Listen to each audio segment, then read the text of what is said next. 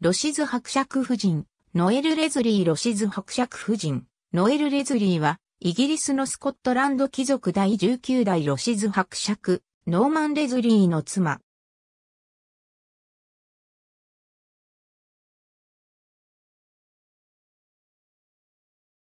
豪華客船タイタニック号に一等船室の乗客として乗船していたことで知られる。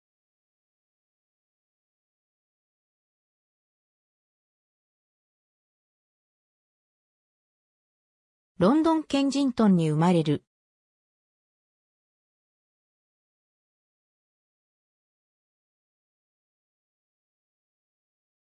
トマス・ダイヤーエドとその妻、クレメンタイン、ジョージアナ・ルーシー・ドラモンド・ダイアーエドの間の娘として生まれる1900年に、スコットランド貴族第19代ロシズ伯爵、ノーマン・レズリーと結婚し、以降ロシズ伯爵夫人の称号を得た。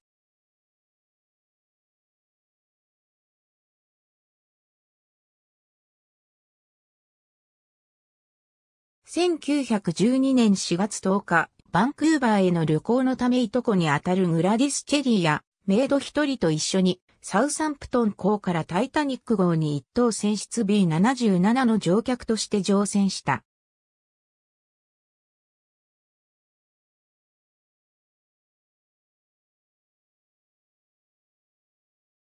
4月14日午後11時40分にタイタニックが氷山に衝突した際にはチェリーと共に B デッキの一等ロビーにいた。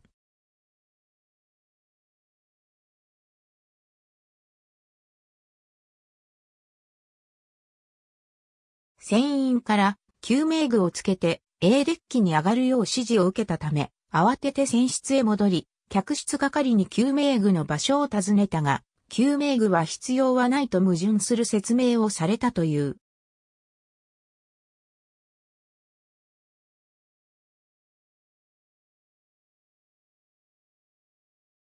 チェリーやメイドと共に8号ボートに乗ってタイタニックから脱出した。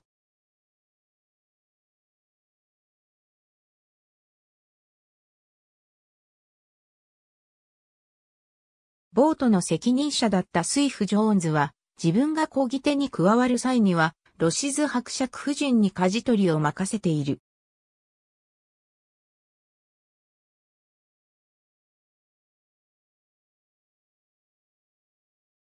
後日の取材でジョーンズはその理由について、あの人の振る舞い、人に話しかける時の静かな、しっかりとした声を聞いたら、ボートに乗っていたどの男よりしっかりしていると分かったんです、と証言している。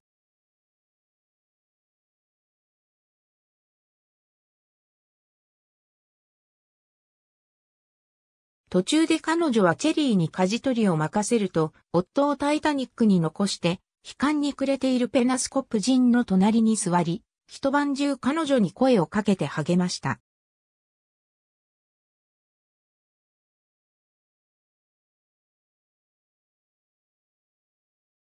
その後、8号ボートはカルパチア号に救出された。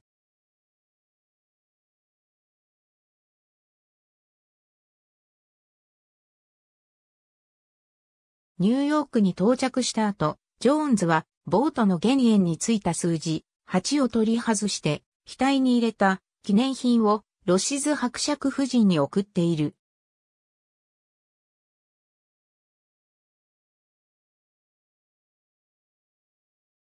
1927年3月に夫のロシズ博が他界し、同年12月には陸軍軍人クロード・マクフィーと再婚した。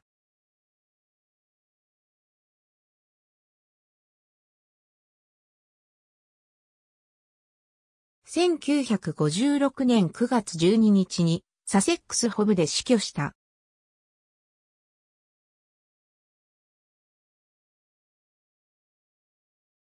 77歳。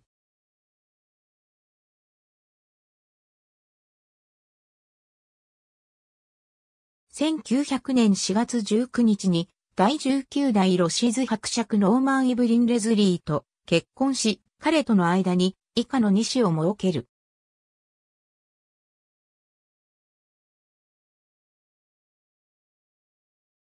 ロシズ・ハクトの死別後の1927年12月22日に陸軍中佐クロード・マクフィーと再婚した。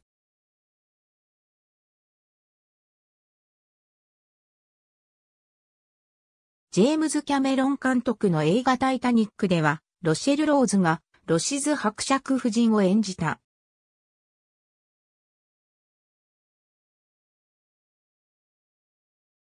ジュリアン・フェローズの2012年度のミニシリーズ、タイタニックでは、パンドラ・コリンが演じたほか、フェローズのドラマシリーズダウントン・アビーでも1話の冒頭でも主人公のグランサム伯爵夫妻が彼女を友人として心配する場面が登場する。ありがとうございます。